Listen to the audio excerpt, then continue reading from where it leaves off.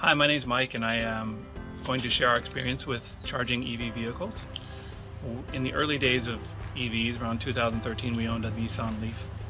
And during those times, we had a very simple level 1 charger that just plugged into your outlets from home.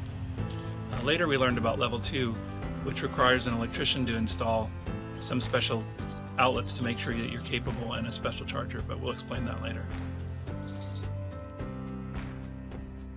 The first and easiest method is to use the included charger which comes with any electric vehicle purchase.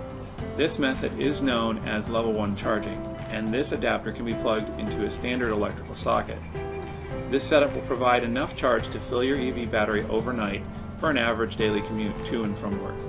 We used level 1 charging for the first few months during our EV ownership.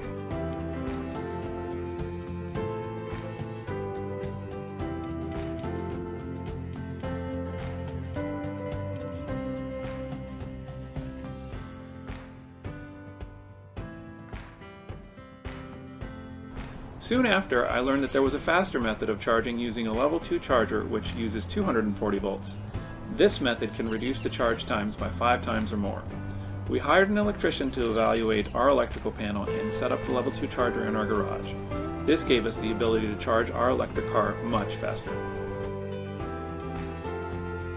Portland General Electric has rebates and rewards to reduce the cost of charging through their PGE Residential EV Charging Pilot Program. You can find links uh, to more information in the video description. The main advantage to owning an electric car, regardless of charging type, is that there are no more trips to the gas station. I haven't been to one in about nine years. It's one less thing to worry about, one less errand to run.